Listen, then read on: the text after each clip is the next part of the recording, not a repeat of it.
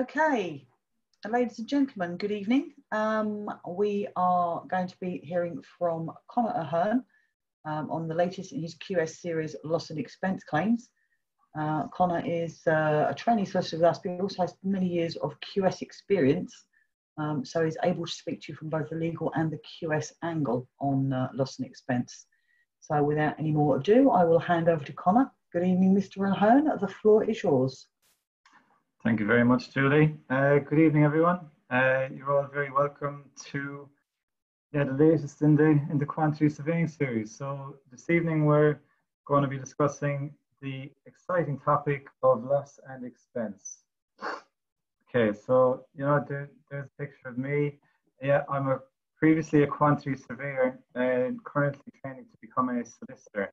I'm looking to finish the training contract in September um, some of my details are there. A lot of people tend to ask questions about, you know, why convert or how can how to convert. So, look, if if you're interested in hearing any more about that, just please uh, feel free to get in touch. Okay. Right, we'll move on. yeah. So, look, we're all here talking about uh, loss and expense, but you know, I think it's uh, appropriate to introduce with uh, with coronavirus and the and the effect that that has had on on the country, plus also on, on the construction industry, um, especially.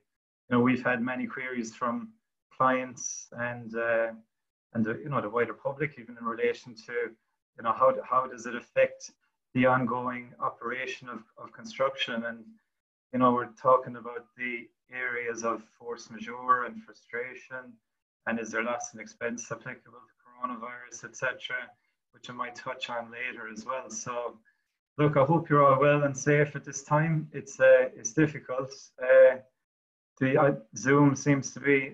I think we'll be conducting a, a large part of our lives through Zoom once this is over. So, so yeah, it's it's a good good um, look. It's a good area to be you know to focus on. And uh, yeah, as I said, I hope you're all well at this time. okay, so moving on, we're going to, yeah, as I said, discuss loss and expense. Now, this seminar is split into three parts. So the part one, we're going to uh, discuss, you know, what is loss and expense and when does it arise under the contract? Uh, and once we get, once we get uh, through that, we're going to move on to discuss liability and especially the uh, uh, causation. That's a very important point when putting forward a loss and expense application. Then we go on to quantum and how we present our numbers in order to recover uh, recover our, our last expense sums. And then we'll conclude uh, before having a questions and answers session. Now, if you want, if you do have any questions throughout the seminar, just please uh, put them in the chat box and uh, Julie will bring them to my attention and we can try and deal with them at the end. Um, we, this is actually the second seminar. Uh, I, we previously did it at five o'clock, so there was quite a few questions there. Um, and look, there was probably too many to deal with. So we'll probably do, um, uh, I'll write up the write up the questions and put some answers in and circulate those as well um, in the next few days, okay? right. We'll go on to part one. Okay, so part one, what is loss and expense? Okay, loss and expense is, is actually not a defined term. It's not defined in any one of our standard form contracts. Um, and also, you know, loss and expense, when we say loss and expense, we are thinking about uh, damages, compensation events as well. These are all terms that are generally, in, they're, they come under the same bracket and they generally mean the same thing. Now, where the original, you know, I suppose, definition of damages or loss and expense came from was actually the case of Robinson versus Harman back in 1848. And in that case, it, it was uh, the it was the it was said that the general principle of contractual damages is to put the claimant in the position that they would have enjoyed if the contract had been performed. Consequently, the claimant should not be put in a better position than they would have enjoyed had the contract been performed as well. Now that's a very important, that's a very good principle, and it's it's a term that we that we know as the golden rule and it's it's very it's it's um, very appropriate to remember that when you are putting applications forward in order to recover sums under loss and expense. So just, just remember that. Put the, put the claimant in the position they would have enjoyed if the contract had been performed. And that, you know, that uh, Wraight versus PH&T in, in 1968 considered a question. And again, just it was dealt with and it was it was um, it was thought to mean the equivalent it, loss and expense was to mean the equivalent to damages at common law. Again it's all it's all consistent. Okay so how does loss and expense arise? So we're going to look at um, loss and expense under contract but also under common law which which happens. We're so firstly under contract um, the entitlement arises but only when the only when payment is not reimbursed elsewhere in the contract so classic, like typically under JCT, which is you know the uh, I guess the most popular form of contract, um, loss and expense will be dealt with following reimbursement of items such as the contract sum, provisional sums, uh, variations, and day works. I like to think of loss and expense as the residue of what's left in order to recover your full entitlements, financial entitlements under the contract. And so, but also loss and expense can arise under common law, because under common law we have, you know, terms such as a duty not to hinder or the duty to cooperate, which, if say a client breaches those, can result in entitlement under common law. Now, this is an area. This is uh, so where there is entitlement under the terms of the contract, uh, one's common law rights are retained unless expressly excluded. And that frequently happens under schedules of amendments.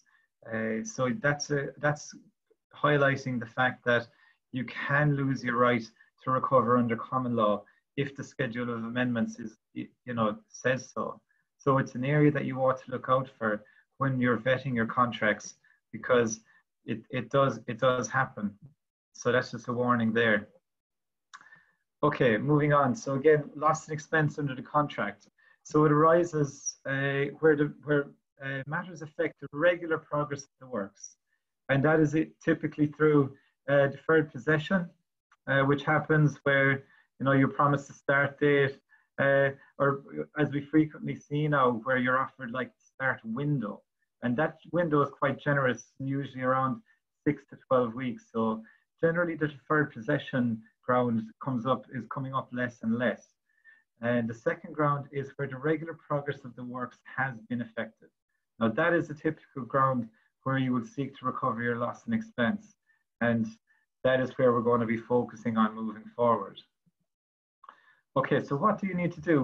When you think that the regular progress of the works has been affected, you know, the, the first thing you do obviously is you, you know, you're required to act as soon as you become aware or also as soon as you ought to have become aware. You know, it's not enough to say that you weren't, um, you know, made aware at the time or that, you know, it wasn't brought to your attention. That's not good enough. It's it's whenever uh, you know when you ought to become aware is equally appropriate. And so when you become aware, you know, the advice is that you ought to submit a notice. Now, in that notice, you want to be providing evidence that is reasonably necessary to show that the regular progress has been affected. And what you want to do is to be able to attach it to one of the relevant matters, uh, the grounds of which are specified around, you know, typically, again, lost the JCT. Uh, your loss and expense clauses are typically around clause 4.20, and that will usually set out what you need to do. So in the notice, you need to show that the um, regular progress has been affected. Uh, provide as much information as possible as you, as you can you know, with correct references back to the contract price, contract program, and, and the contract itself. I mean, if you need to cite the clauses that you're relying on, then you are, then you absolutely should do that. Um, if you can, with the notice, submit a breakdown of sums. It's difficult, and uh, and it, uh, generally, I would say to get the notice in and follow up with the sums because the notice will get the, will will set the ball rolling in the process and you can always you know you can provide the breakdown then in due course. Don't risk you know delaying the notice just because you're trying to get the quantum um, 100% it's very it's notoriously difficult to get your application for loss and expense. Um, absolutely 100% correct at first at first outset anyway. Um, so you and then you want to get a response so get a response to your loss and expense assessment uh, usually say about eight, eight to 12 weeks. I mean, try and get it sooner, but that's generally a, a, you know, a reasonable time for parties to consider the, the notice and the, and the application and then to provide a, a thorough response. So moving on to the relevant matter, what are the relevant matters in the JCT? Um, I mean, there's four. There's four listed, and the main ones are the, the first, uh, which is variations. So you may have lost an expense associated with variations that have been instructed by your client. Now, when you're pricing the variation, I would recommend that you include the consequential effect, which is your loss and expense aspect of the variation with the variation pricing. It's it's all if you can do that, then absolutely go ahead because you're going to it's it's it's better than coming along and uh, six months later and saying, well, you remember the variation, say where, you know, we put in more more dense rebar in, in a slab, for example, um, then coming along afterwards and saying, oh well, as a result of that, you know, we had heavier formwork, or you know, we had to carry out further propping to the slabs, you, you know, stuff like that. You need to understand the consequential effect at the time of the variation. So if you can do that, then absolutely submit the loss and expense with the variation pricing. Um, then you also have the other grounds such as architect's instructions, the uh, execution where you know uh, where approximate quantity is not reasonably accurate. Um, you know we, we, we see approximate quantities is, is, is used less and less, so generally tend, tends to be a clause that is used very rarely. Um, the final clause is what we call the catch-all clause. Um, the catch-all clause refers to any impediment, prevention, or default, whether by act or omission by the contractor's persons. Now, this is the classic clause for loss and expense because what you are seeking to do is to recover the inefficient sums associated with, with the impediment, prevention, or default of your client. Um, and that's where you'd be looking for your general disruption and generally most loss and expense clauses, in my experience, uh, fall under fall under that heading. So, th- so you know, there you have it. I mean, you know, understand what the understand what loss and expense is. Understand uh, what the contract says. You get those things right at the outset, then you're setting yourself up for success for your loss and expense application. Okay, we're going to move on to part two. Part two uh, deals with liability.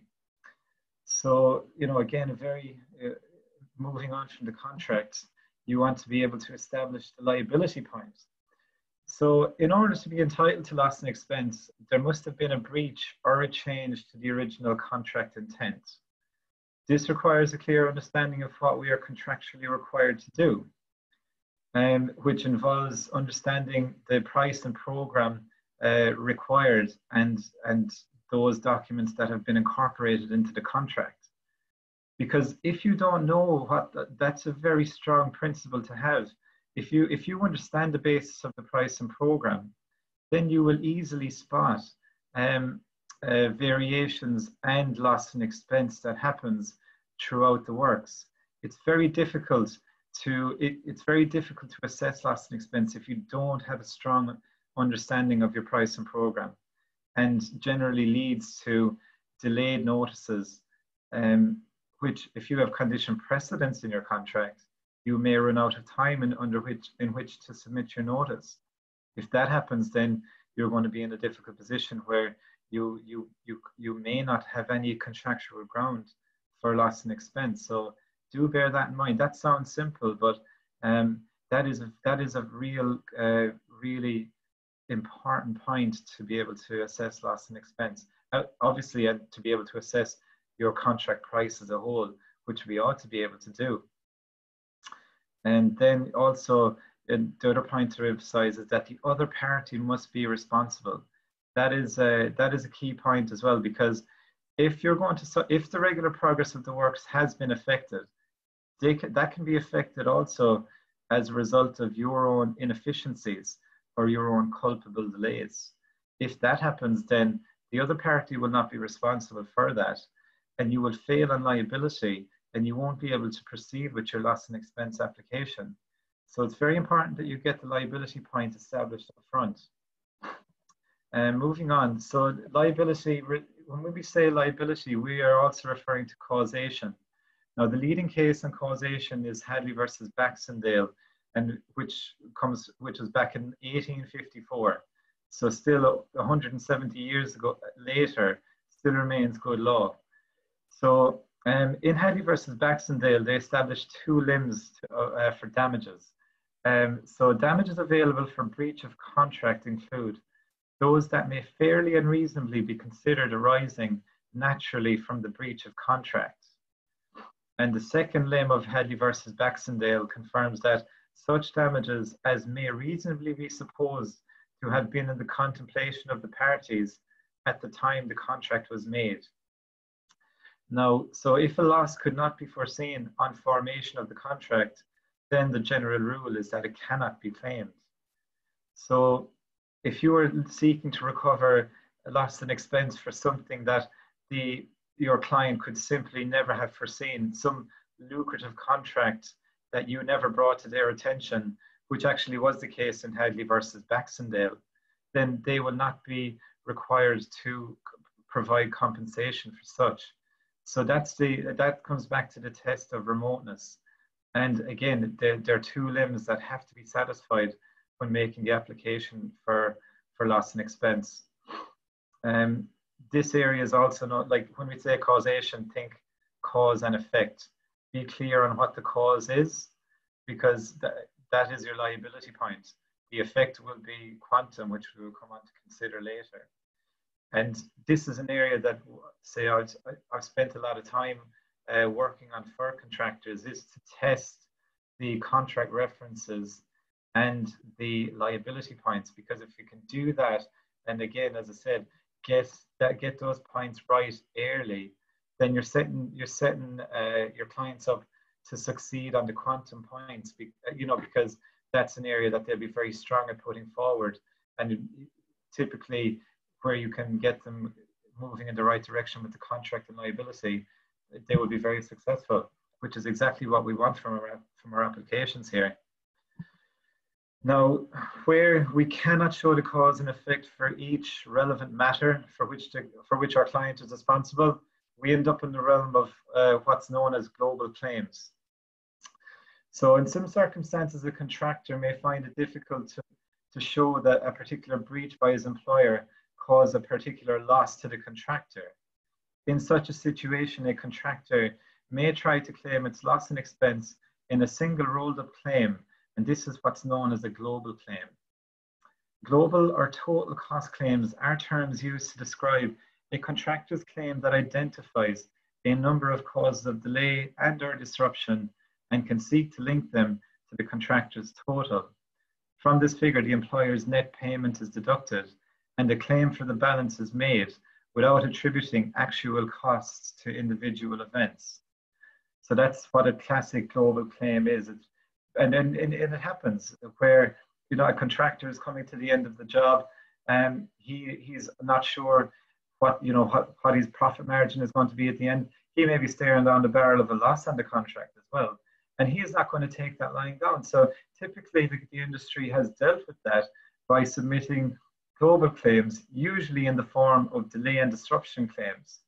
Now that is a, like that is still common in, in practice. I mean, as a solicitor, you know, that is something that we are keen to avoid when we're looking to protect our client, because what you'd want is to have um, a condition precedent to loss and expense. You would want to be state. You would want to put the onus on the contractor to give notice for loss and expense. You know, with, within seven or fourteen or twenty-eight days, whatever the case may be, whatever whatever is reasonable, as much as possible um, you know, so you don't have that classic delay and disruption claim coming in at the end of a contract, which is, can be notoriously diff difficult to deal with. So you, as, as an employer, that is something that you absolutely do not want. Um, and uh, my recommendation is that global claims should be avoided, and, uh, and I'll show you why. Uh, Walter Lilly versus Mackay uh, was a classic case, uh, which which yeah, on a proper like on a proper analysis, um, the global or total cost claim, which the parties actually assumed it was, but when you looked at the facts of that case, it was actually um, a properly substantiated loss and expense application rather than a global cost claim. And, and, and as a result, Walter Lilly were very successful in that, in that application and in the recovery of sums from, from Mr. Mackay. Um, Akenhead in that judgment uh, said he gave his reasons as to why it wasn't a global claim when he said that Walter Lilly's pleadings did identify a comprehensible case in relation to delay. So that that's when he says that, that means they satisfied uh, causation. Uh, Walter Lilly's case for extended preliminaries and profit and overhead was related solely to the periods of delay for which it asserted that it was entitled to extensions of time. So again, where they where they had the extended preliminaries, they that was on so that would be a prolongation claim.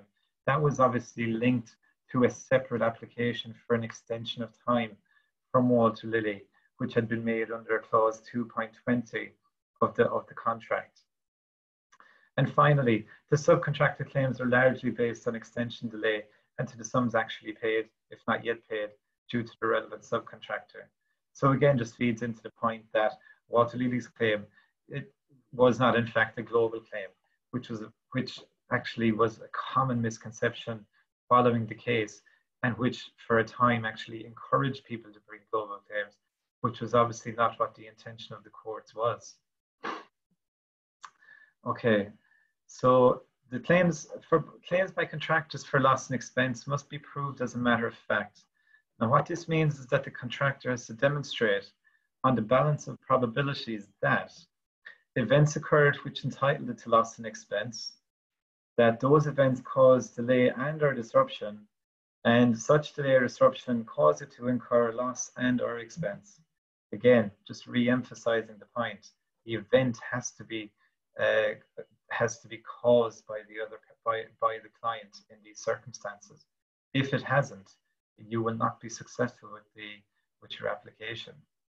And here is where uh, global claims. Uh, this is why global claims are so risky. As the final point, is that the the entire claim can fail and has failed on several occasions if the loss has if if any part of the loss in that global claim has been caused by the applicant.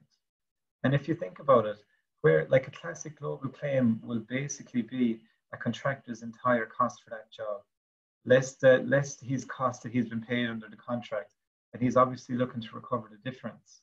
But who's to say that the, that the, the difference, any part of that hasn't been caused by the own inefficiencies of the contractor? If it has, the, the tendency is that the global claim must fail. So that's the word of warning. And go, go back to your liability, establish your cause and effect, and that way you do not run the risk of playing a very high stakes game with your with your global claim in the hope that some part of it will be paid. It's it's a very risky strategy and one that I'd be keen to advise clients to avoid as, as much as possible. Okay, so we move on. So we've dealt with what the contract says, we've dealt with liability, and now we're going to move on to quantum. Uh, so quantum. So the typical heads of loss that we consider uh, with our loss and expense application um, is, uh, is preliminaries, uh, general disruption, head office overheads and profit, finance charges, and the cost of collating the claim. So preliminaries. So preliminaries, there are two classic headings for loss and expense of preliminaries. Uh, the first one is prolongation. So that's that happens when the contract, you know, the overall completion date is extended um, as a result of relevant matters or, or even the relevant events for which you are seeking an extension of time. If you're entitled to the extension of time, then you will, you will automatically look to see whether you're entitled to the loss and expense. Um, and if you are entitled to the to the loss and expense, then you will go for your your, your prolonged preliminaries as a result. Um, so when you when you go for the pro, uh, the prolongation the pre, uh, on your preliminaries, uh, just bear in mind that you are entitled to recover your actual cost associated, um, and that principle applies whether your rates in the in your contract sum are, are in, in excess of what your actual costs for, the, for, that, for those preliminaries are. And similarly, it works the other way where, you know, the, the cost, the, sorry, the value you might have in your preliminaries is not sufficient to meet um, to meet the cost, the actual cost of the preliminaries on that project. Again, go back to the golden rule. Um, you should be put back in the position you would have been if the contract had been, you know, if there had been no breach of the contract. And by virtue of the fact that you're entitled to an extension of time, well, then it ought to be the case that you are entitled to, that there has been a breach and you are entitled to be put back in the position you would have been in if it had been properly performed. So just bear that in mind. Um, the second ground there is the preliminary uh, thickening. So that occurs where you have more supervision on a pro- on a contract, as an as but it must be as a result of the changes. Um, preliminary thickening, you know, you might have to work in in more areas than envisaged. You might need more supervision, you know, as a result of, as it says there, as a result of those changes. Again, you but the only way that you will get the thickening is if you can show your cause and effect if you can overcome the liability uh, point and show that the cause has been a breach uh, caused by the client and therefore the effect is that you have required more preliminaries on the project. So they're the two classic heads to consider when putting forward your application for preliminaries. Right and um, the next one is the general disruption. Now, when we talk about the general disruption, what we're, what we're seeking to do is to uh, show our as planned uh, versus our as built. So, as planned being what you intended to carry out at the time of contract. Now, when doing that, uh, we're going to, you know, I'm going to re-emphasize the point uh, about records. Basically, you know, records are key. Um, as I mean, as I'm sure you're, you're all aware, they're key to uh, it to everything when you're when it comes to loss and expense and proving our disruption. And when I say records, you know, you want to um, you want to be considering, you know, obviously daily diaries. Um, and it's it's also important to check the the detail provided in the daily diaries um, on a on a consistent basis. You know, you you don't want to end up in a case where you have a load of daily diaries, but they don't give you the information that's um, that's going to support your application. Um, also, you, you may consider allocation sheets. Uh, they were, you know, they're a classic, uh, a good record to show exactly what was going on when. Um, obviously, photographs and then also, uh, you know, progress reports can help as well. Because what you're trying to do is you're, uh, when you experience disruption, you are trying to show the impact of that disruption. And in order to do that, you want to be able to show your outputs at a time when you were not affected by any of the relevant matters. If, so if you have your outputs during that the time you were not affected, you can then compare that to your outputs following the regular progress of the works being effect, having been affected. And, ba- and basically what you're looking to pick up is the difference between your what we call as planned versus your as built. And the difference is, is what is classic is classic loss and expense. So when you come to that, um, the non-productive, so what you're looking to recover is the non-productive line time, sorry, um, typically associated with your labor and plant. So you want to show your labor on a formulaic basis to show that, you know, it was achieving X during the non-affected period, and now it's now it's achieving Y uh, during the affected period, and you're and you're looking to claim the difference. Absolutely, classic area for for loss and expense. Um, the same goes for your for your plant because your plant is on site anyway. Problem being is that it's not as efficient or it's not as effective as it would have been had there not been a had there not been a breach uh, for which you're entitled to loss and expense. So again, make sure that the plant is in there um, and that there is you know good record to substantiate these points. This is the this is the real battleground um, for you know how successful how successful your application is going to be um, and and the better the records the better the evidence uh, the better the better the outcome um, so moving on um, head office overheads and profit Yeah, this was a head that again was discussed at length in Walter Lilly versus Mackay. The the courts are receptive to you know to the recovery of overheads and profit uh, on a formulaic basis. The, the most popular being uh, the Emden's formula, the Hudson formula, also the Eichleay formula, which is coming from the US. Uh, you know, they're all recognized areas, um, uh, formulas to calculate that loss. So, you know, but one of the areas that does tend to cause an issue is the area on profit because um, you, in order to show that you're entitled to the profit, um, you need to show that your price or, or that you are going to make a profit on the works uh, on, on your contract works anyway. Um, now that's that's not as simple as just saying, well, you know, I priced 10% overheads and I priced 10% profit, so my loss is 10% profit.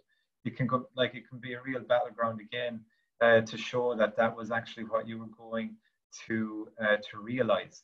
Again, remember the golden rule: put you in the position that you would have been in if the contract had been properly performed. So that becomes a difficult point in relation to profit, and one that you know bears out on the facts and and whatever can be proved by the by the parties when making the submission.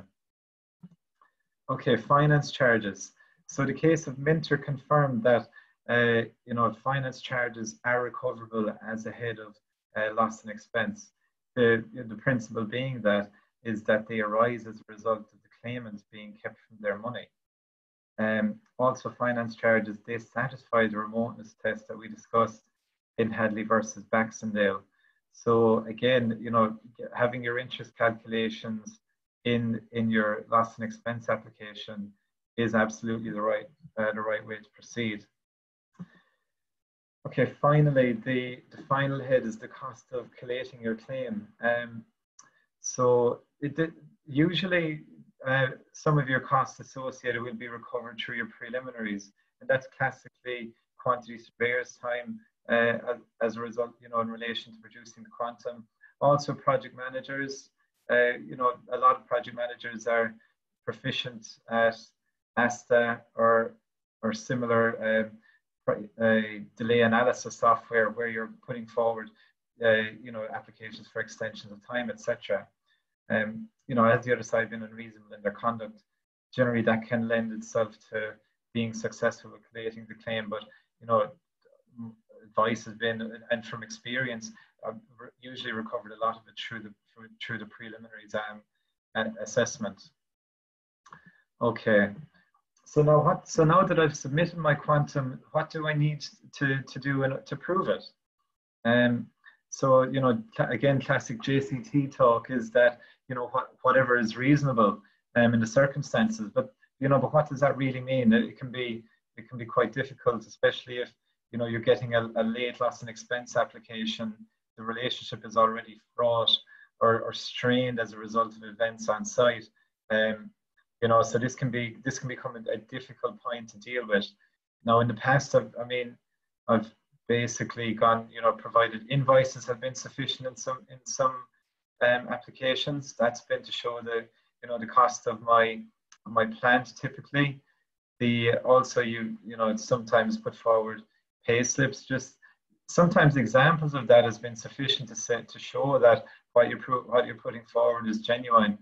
Um, I've also had the case where I've had, um, you know, clients coming, yeah, clients come to our offices to investigate uh, cost ledgers because, uh, to be fair, in the circumstances, it was probably that was probably reasonable because they were facing such a significant issue with their client that it was completely foreseeable that one day they would end up in front of the courts.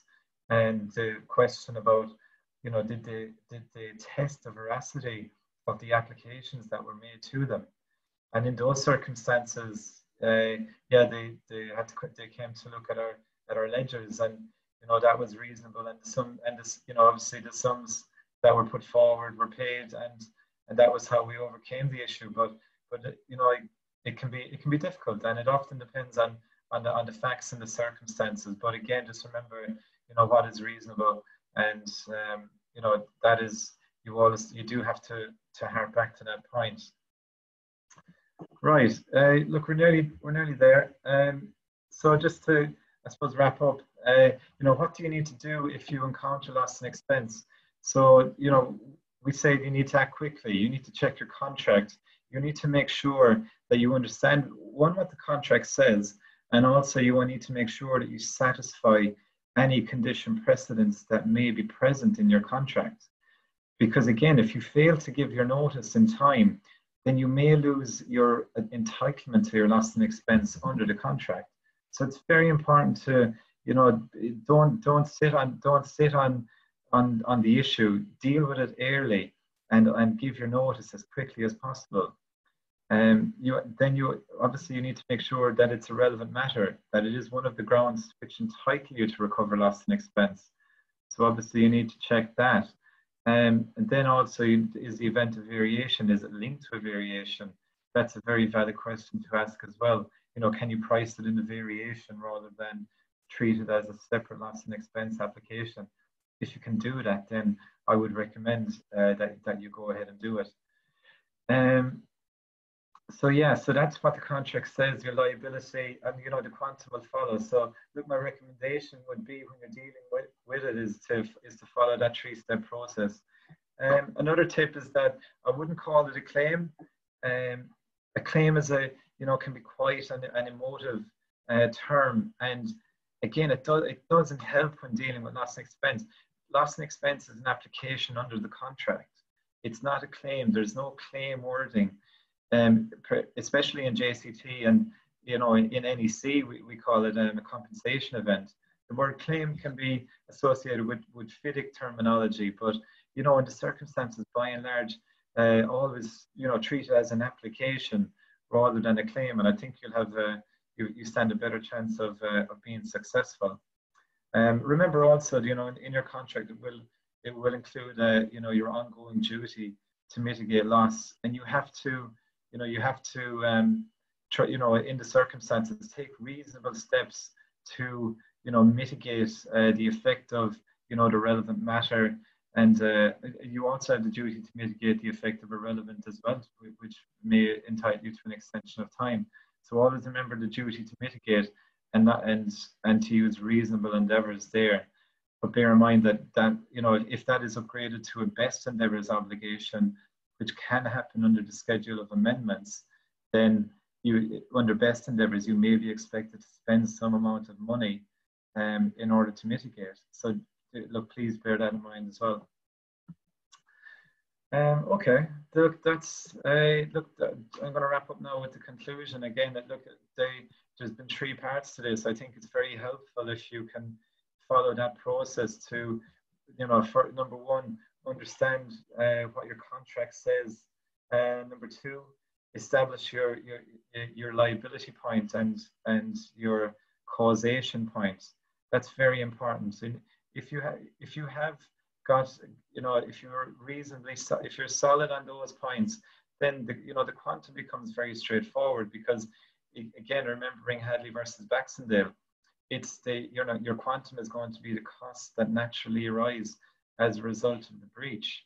So, you know, it's, it's going to save you a lot of time to be getting on with other works um, and make sure that what you're putting forward, you know, day one is, is, is reasonably accurate and save, you know, several amendments again at a later date, which, you know, which can be unhelpful and, and serve to only strain the relationship further. So follow the points, understand what the contract says, understand liability, and then the quantum will flow from that.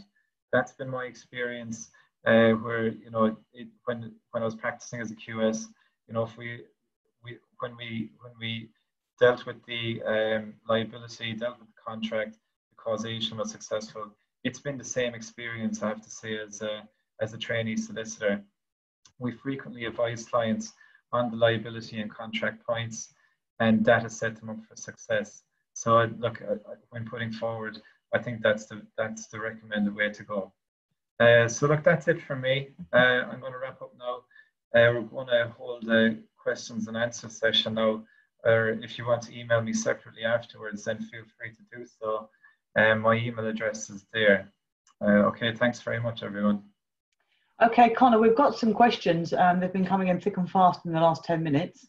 Right. Um, the first one, how do you deal with the scenario where multiple variations uh, or the total quantum of variations cause a delay rather than one single event or variation?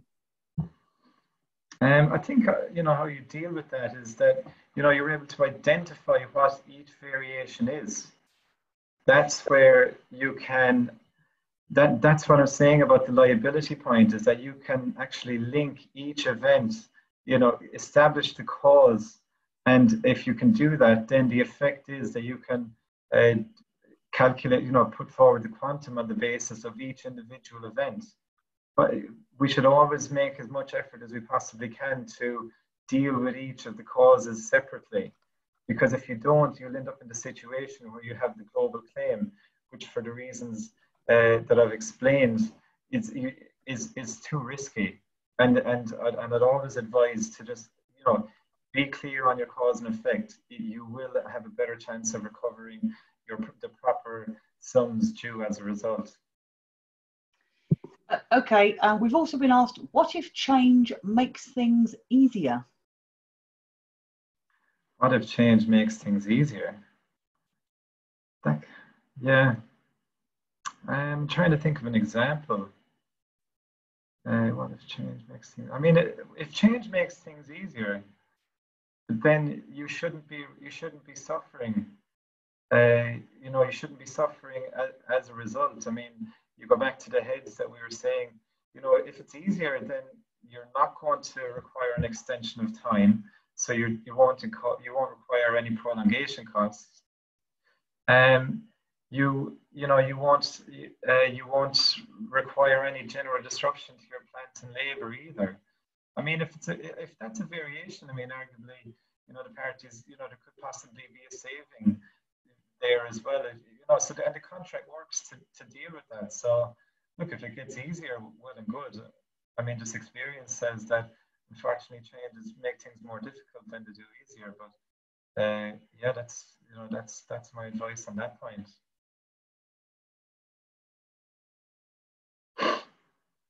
Julie. Uh, sorry, you're fading out slightly there, Conor. So just make sure you're close to your mic. Yeah. Um, Someone else has asked, can you claim contract OHP and add Hudson formula to an LNE claim? Uh, can you repeat that again, Julie? Can you add con sorry, can you claim contract OHP and add Hudson formula to an LNE claim?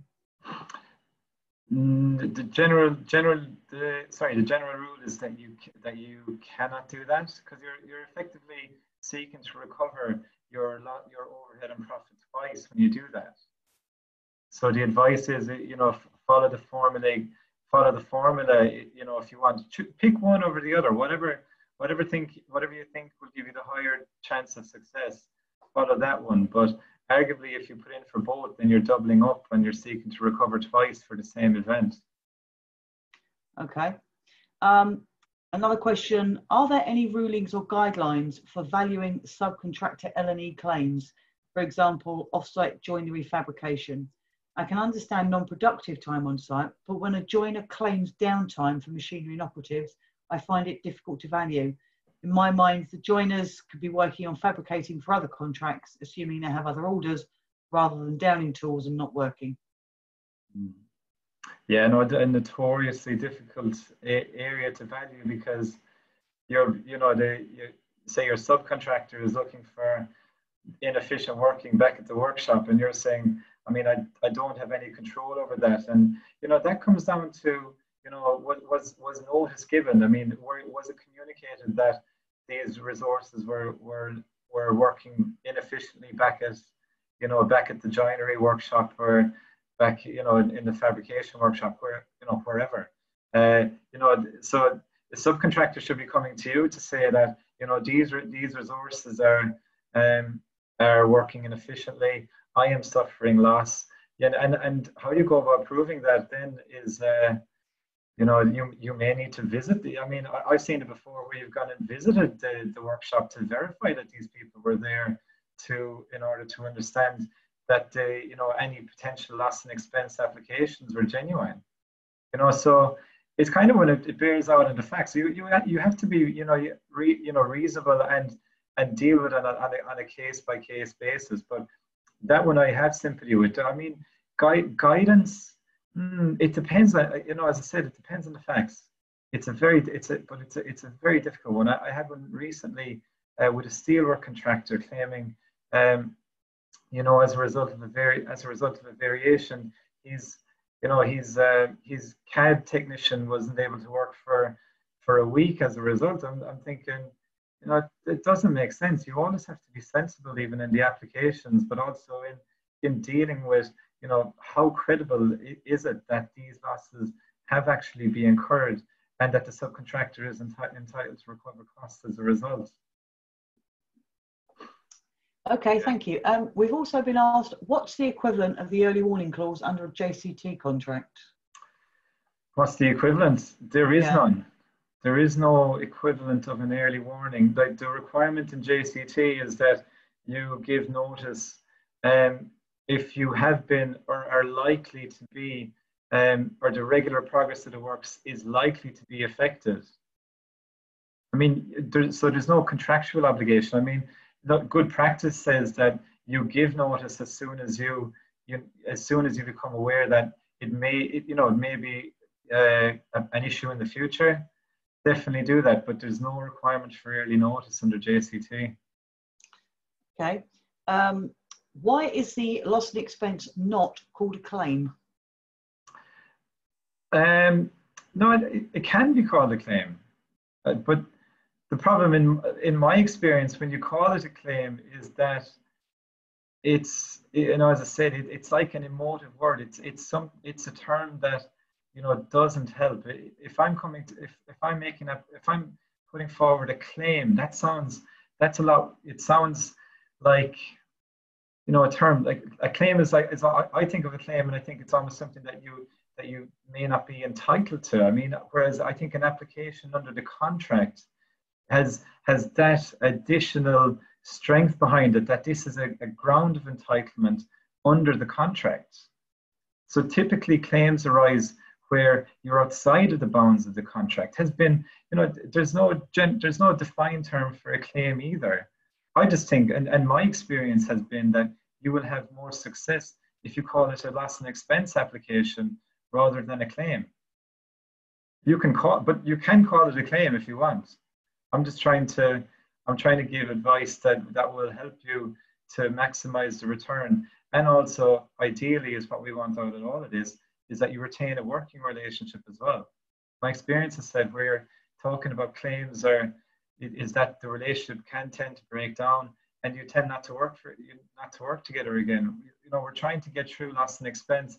It happens. It's not a very comfortable area for people because you know it's it, there's very there can be little value out of money paid for loss and expense, but if it's dealt with by loss and expense under the contract, you have a you have a better chance of be of of dealing with it, recovering more money, but also retaining um, a working relationship at some time in the future as well. Okay. Um, someone else has asked. Um, they they uh, their internet dropped out right at the uh, the start. But um, are they right in understanding that a subcontractor cannot submit a loss and expense claim against the main contractor for the government implications on the two metre working space to deal with COVID 19, as this is outside the control of the main contractor? Yeah, difficult one. Um, the so we have a yeah you have a lot of main contractors who are basically insist keeping sites open and they are seeking to uh, you know, have the two meter working and improve, you know, increased hygiene, um, in, you know, precautions in place, which, which I get, but the, it, um, I mean, I, I say that it, it depends on, on how it's being communicated, because if it's an instruction that, you know, if it's an instruction that you're still on site, then, you know, main contractors could potentially be at risk for subcontractors saying that as a result of your instruction or what we call a, relevant matter under impediment prevention or default, then potentially you could have subcontractors uh, bringing forward applications for loss and expense. It depends on the communication, Julie. It's it's been a notoriously battleground for the last couple of weeks, and something that's going to continue as more employers are seeking to keep construction sites open, and as a result, main contractors seeking to, you know, get to keep their subcontractors um, working uh, on site. But there's no doubt that you know the the subcontractor, if he has to adhere to those measures, there will be losses as a result because they're now no longer working in the same manner as they envisage under the contract. It just depends on whether it, it, it qualifies as a relevant event or not. Okay, and I, and I know um, both Henry and John Sharp have spent a lot of time talking about both the insurance and construction aspects, yeah. construction yeah. contract aspects of COVID. Um, we're also being asked, is there any court case confirmed that the common law right can be excluded from a contract? Um, is there is there any case law? I, I'm not I'm not sure on, on that one. I can I can research the point. Um, I'm not, but I'm not sure on that one. I mean, I mean where I've had clients or or where I've, you know where I've been defending claims, if I feel that the common law uh, common law rights have been deleted, then you know generally the, the schedule of amendments should be clear enough. I mean, I'd, I'd imagine parties are reluctant to run to run the you know the the core process in order to find that out because it should it ought to be pretty clear whether your common law rights have been deleted or not. So I can research the point and, and pass it on. I mean, I'm going to do a list of questions and some feedback and some answers anyway. So I'll I'll, I'll try and provide a, a that answer within okay. that. Yeah.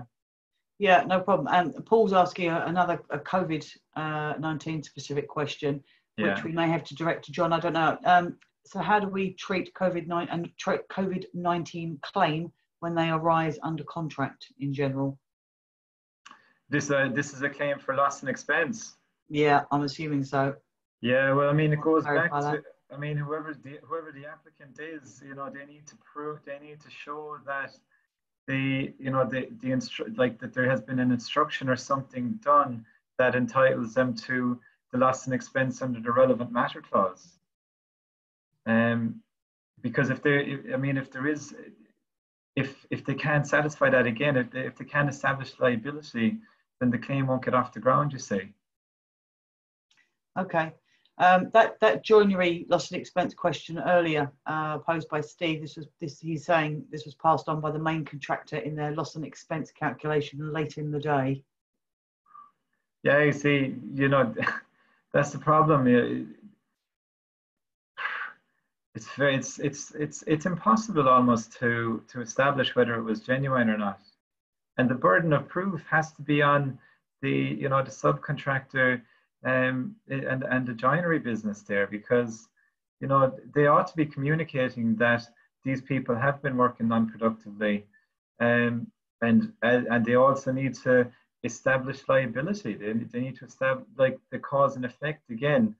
That's, it sounds like they're going for, you know, a, a global claim where they're, you know, they're coming in at a late stage, far, you know, several months after the event. Um, and I, it's it's going to it's it's difficult. Uh, you know that it, it, again it bears out in the facts and what was being communicated at the time the non-efficient working was going on. Um, all of those points need to be dealt with, but like a ter- like a terrible dilemma to end up in at the end of a contract where you're trying to recover sums for people that were incurred six months ago that weren't even on site. It, it's I mean it, it's it's very difficult, and you should not be Like the advice is that like if you are like that's why I'm saying act quickly. Don't sit on it and, and give the notice six months after because your chances of recovering the, the sums that you're saying uh, you've lost uh, is is is diminished effectively. Okay, thanks for that. Um, Paul's asked quite a specific question about COVID. So, Paul, I'm actually going to send you some links to some other seminars we've held over the last week, which will probably answer that question quite clearly. Um, other than that, thank you very much, everyone, for attending. Uh, the recording of these uh, seminars this evening will be put out online. Hopefully, they'll be available tomorrow at some point for everybody. Um, and thank you, Conor, for your time and your expertise. Yeah, and, thank you, uh, everyone, thank you, everyone. Please stay safe, everybody, and hopefully we'll see you at an online seminar again soon. Thanks for your time. Absolutely. Thanks, guys. Cheers.